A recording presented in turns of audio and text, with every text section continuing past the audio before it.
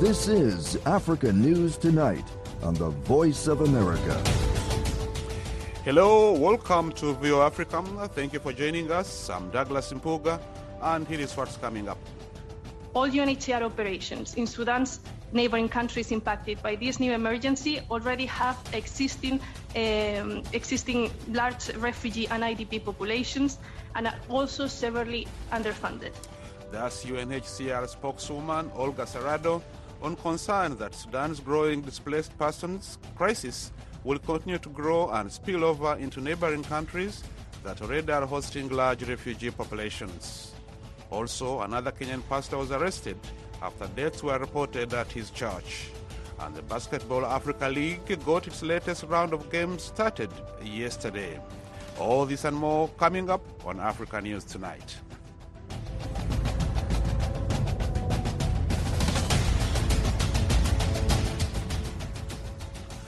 Doctors Without Borders warns the healthcare situation in Sudan is on the brink of collapse and the situation may get worse if the fi- if fighting drags on. The UN says it appears the heads of the warring factions, General Abdel Fattah al-Burhani, head of Sudan's Transitional Government Governing Council, and General Mohamed Hamdan Daglo, Daglo, known as Hemeti, leader of the Paramilitary Rapid Support Forces, do not seem inclined to talk. So we're we're now entering um, the the eleventh day of the, the, the escalation of the current conflict in in Sudan. Um, we have been in touch with Sudanese medical teams in Khartoum and other parts of the country where uh, wounded patients are being received.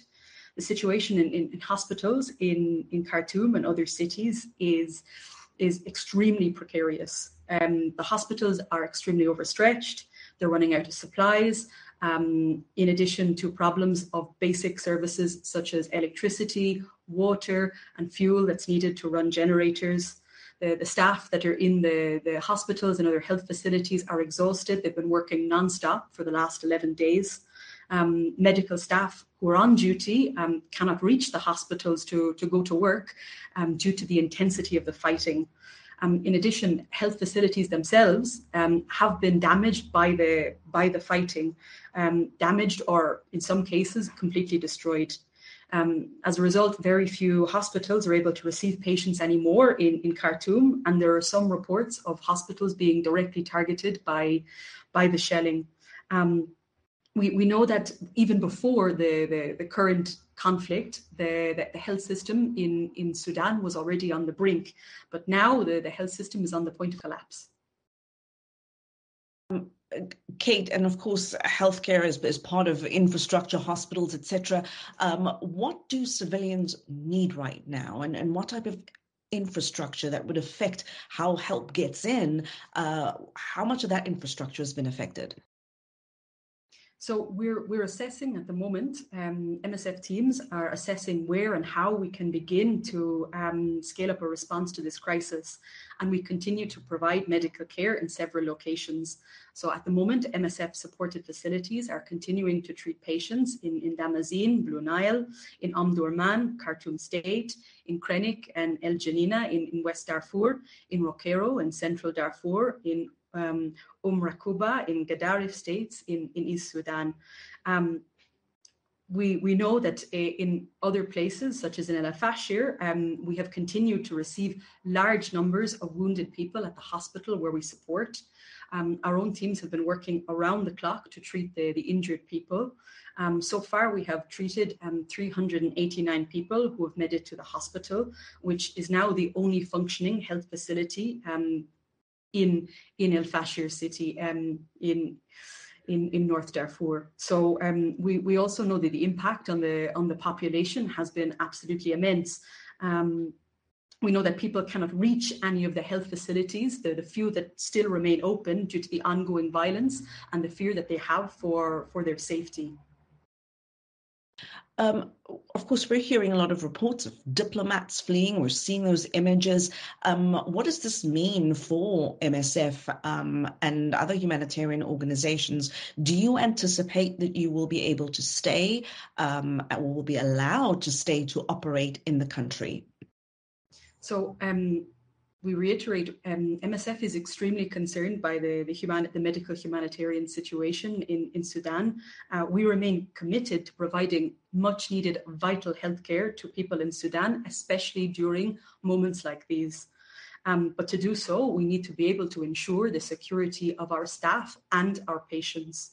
Um, after over 10 days now of um, sheltering under heavy fighting. Some of our teams have been relocating um, to a safer location. Um, and there are plans for, for some others of our, our teams to, to leave the country, but MSF is, is staying in Sudan. Um, we continue to keep in close contact with, with all of our team members uh, as far as possible. The, the security of our staff is a, is a top priority. Um, and we appreciate the support that we have um, received to be able to safely relocate um, our teams. Um, of course, we're extremely worried about our Sudanese colleagues, our, our patients, and the, the, civilians, the general population who are trapped in this conflict. Um, our thoughts are with them, and we iterate our calls to the parties to the conflict to avoid um, civilian areas and to spare civilian lives in this conflict. And yeah, we, we call on the, all of those participating in the violence to ensure the safety of medical personnel and health facilities and to allow safe passage of our teams, ambulances, and people seeking healthcare to facilitate the movement of all of those who are delivering vital humanitarian assistance in Sudan today. That's Kate Nolan, the Deputy Operations Director for Doctors Without Borders, or MSF. She spoke with VOA's Heidi Adams from her office in Nairobi.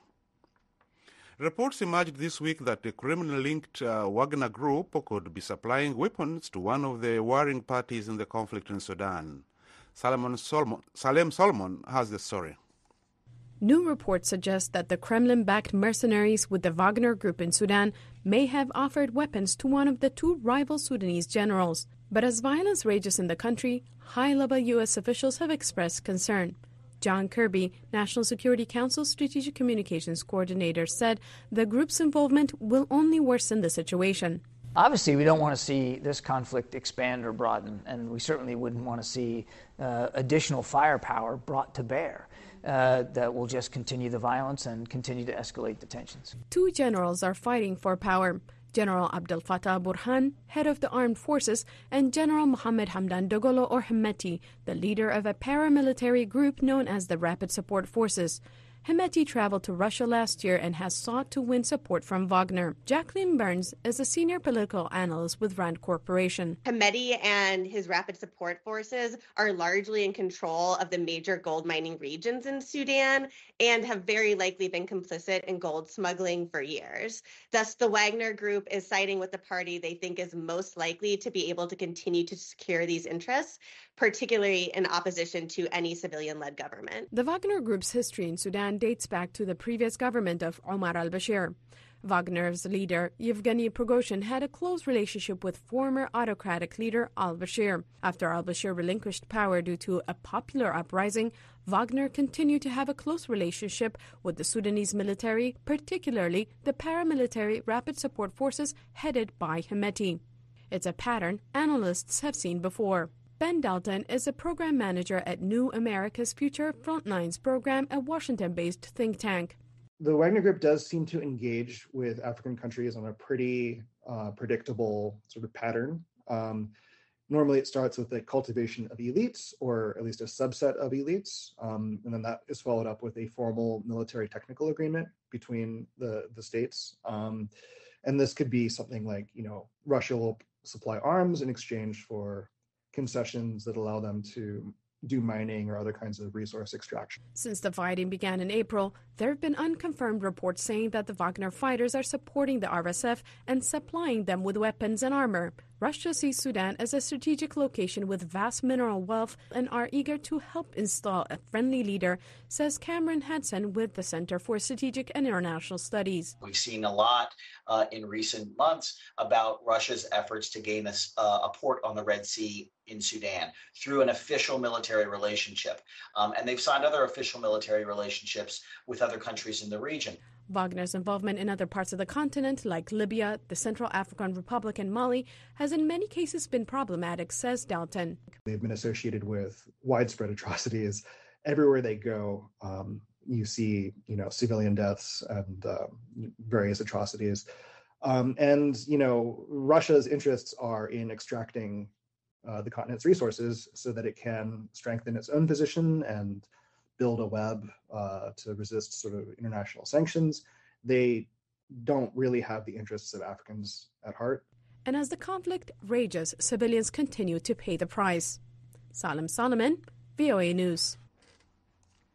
In Sudan, thousands of Khartoum residents are trying to leave the capital before the 72 hour ceasefire ends overnight.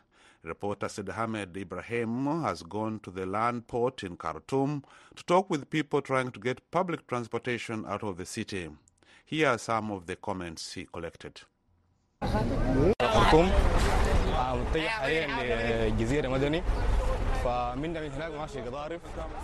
Alfredo Mohammed says he's traveling to the city of Kosti because of the insecurity in which Khartoum lives, and we have suffered enough. He lives in the Al Amarat neighborhood near armed clashes, but thank God for his short truce. He says tickets are very expensive and difficult to obtain. He waited several hours to get one. He has a car but can't use it because there is no fuel. متجه حاليا لجزيره مدني فمن من هناك ماشي قضارف Shadia Abdel Rahman says she also is going to Kostim because circumstances have changed. She says they are living in insecurity, so they decided to leave because they have children who will go to some of our relatives in Kosti. Rahman says if the situation in Khartoum improves, they will return because our homes, cars, and other things are in Khartoum, so we are between two difficult choices traveling and staying. But they are worried about the expensive ticket prices and the risk that evacuees may be exploited on the road. The UN, United States, and many other governments are calling for the warring sides to extend the ceasefire to allow aid to reach civilians who have been living without electricity, food, water supplies for nearly two weeks. You're listening to African News Tonight. I'm Douglas Mpuga in Washington.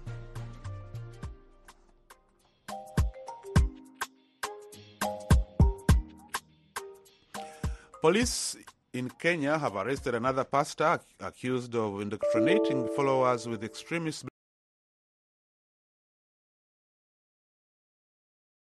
The arrest of Ezekiel Odero comes as investigators find more bodies of members of the Good News International Church. The pastor of that church, Paul Mackenzie, is accused of convincing at least 100 people to starve themselves to death. Mohammed Yusuf reports from Nairobi. Kenyan government officials have arrested a second pastor accused of preaching radical beliefs, leading to an unidentified numbers of deaths at his church in southeastern Kenya. Rhoda Onyancha is the Kenya Coast Regional Coordinator. We have arrested Pastor Ezekiel Ombok Odero of the New Prayer Center and Church at Mavueni in Kilifi County on allegations of the deaths that have been occurring at his premises and reported in various uh, or institutions. We've also taken action and closed down the prayer center going forward. So we are urging and giving information to the public that that prayer center has been closed down and whoever was in there has been cleared out. Interior Cabinet Secretary Kithure Kindiki said over 100 people were hauled up in the church Thursday and are assisting the police with their investigation. Authorities did not say how many people died at the church or released their causes of death. Odero had claimed to work miracles, and his church was believed to attract many people who were desperately sick. One woman who attended a different church led by Odero told VOA she did not hear about issues regarding fasting, but said she saw people there who were very weak and were hopeful they will be cured. Jared Magolo is the lawyer representing Odero. He told journalists authorities have yet to file charges against the preacher. We have talked with the officers Yes. and uh, they're doing their work, they're investigating, they'll let us know what's going on. The arrest of Pastor Ezekiel comes a week after authorities uncovered mass graves in Shakahola Forest, where members of the Good News International Church starved themselves to death. Paul Mackenzie is in custody for preaching that death by starvation would allow his followers to meet Jesus Christ. Investigators say the pastor will face charges of radicalization and terrorism. Omwanza Ombati, a Nairobi based lawyer, says the director of public prosecutions must present a strong case against the preachers in order to obtain convictions. The standard of proof in criminal cases is beyond reasonable doubt. So, for either Mackenzie or uh, Ezekiel to be convicted, the DPP must have watertight evidence. And remember that uh, there are many people who are, there are many deceased uh, persons who are involved in this, and each case is judged on its own. So it's it's it's it's it's, a it's a fairly complex case in terms of prosecuting, gathering evidence, uh, preparing charges, uh, processing crimes, the crime scene, and presenting a good case before uh, a court of law. Kenyan security agencies have been blamed for failing to take action against churches and pastors who preach dangerous doctrines and exploit people. They are accused of moving too slow to save lives in Shakahola Forest, where most of Mackenzie's followers had gone to die. Ombati says the government must start following the activities of the places of worship and their teachings. Government must now crack the whip, not only on Mackenzie on, or on Ezekiel, but on many other churches eh, who, who've come out and who they've licensed and who are, who are conducting very, very bizarre, you know, sort of services or things like that. And you can see it in social media. Even people going to church and they, they, they are told that there'll be money that will come to your phones if you just wave your phone. I mean, very ridiculous and, and silly things. So if, if, if the government is serious about it, it should crack out, it should crack on everybody who's uh, who's using religion on uh, the gullible masses. In the last seven days, at least 100 bodies of children, women, and men have been exhumed in the Shakahola forest. According to the Kenyan Red Cross, more than 350 people are still missing as a search of more bodies and survivors continues in the coastal region. Mohamed Yusuf for VA News, Nairobi. Peace talks between Ethiopia's federal government and the rebel Oromo Liberation Army have started in Tanzania's semi autonomous island of Zanzibar. The talks have raised hopes of ending years of violence and unrest between the two sides. Charles Kombe reports from Dar es Salaam, Tanzania. The talks that began Tuesday and are being mediated by Kenya and Norway came at a critical time for Ethiopia which has experienced a rise in ethnic tensions and violence in recent years. The discussions are receiving a generally positive reception, with many expressing hope they will ultimately bring an end to the prolonged period of conflict and instability in Ethiopia. Many analysts are closely monitoring the situation, including Abbas Mwalimu, a lecturer at Tanzania's Center for Foreign Relations. Mwalimu has been following the conflict and says the talks are a step in the right direction, but that more needs to be done to achieve lasting peace and stability in Ethiopia. Mwalimu says this demonstrates they have recognized and felt enough impact, and now they need to come together and resolve the issues. He knows there will be a chance for success, but even greater success can be achieved if they choose to revisit the constitution and revise it to unify Ethiopia. He says the current constitution, which allows for regions to have their own governance, is what fuels the desire for separatism among the people. As tensions rise over the incorporation of regional military fighters into the national army, Ibrahim Rahbi, a regional analyst, has suggested the Ethiopian government must carefully manage this process to prevent further conflicts. Rahbi says the Ethiopian government's move to integrate regional fighters into the national army has created a lot of tension, as each of the country's 11 regions has its own fully governed representatives, including armed forces.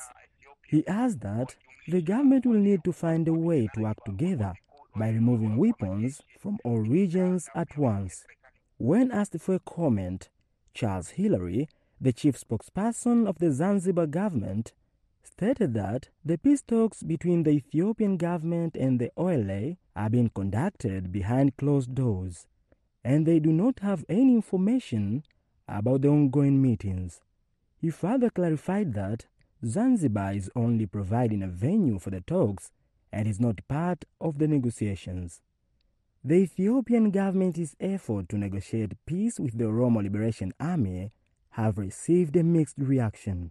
While some applaud the talks as a step toward resolving the conflict, others, such as the American Ethiopian Public Affairs Committee, AEPAC, have called for a guaranteed cessation of violence by OLA Shene before meaningful negotiations can take place. In a statement Wednesday, the AEPAC said negotiations cannot meaningfully take place while the population and many communities in Ethiopia still face the risk of attack by such forces. Primarily, there must be a guaranteed cessation of all hostile acts by OLA Shene, which has constantly committed crimes against humanity and engaged in the massacre of innocent and armed civilians. In recent years, the Oromo Liberation Army OLA has grown in numbers, but some experts assert it lacks the organization and weaponry to pose a serious threat to the Ethiopian government. The Oromo region has experienced ethnic violence, and while the government has accused the OLA of involvement, the group denies responsibility. The government's heavy handed response to the conflict has only fueled bitterness among the Oromo people. Meanwhile, the talks expected to continue for several days, and both sides have expressed a commitment to finding a peaceful resolution to the conflict. Charles Kombe for VOA News in Dar es Salaam, Tanzania.